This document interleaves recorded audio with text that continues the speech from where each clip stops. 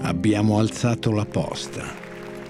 Ci siamo giocati tutto, anche il futuro dei nostri figli. E adesso, finalmente, ci godiamo quello che ci spetta. Il vincitore del premio Contafavi 2010. And the winner is Marie-Rose Bertolazzi.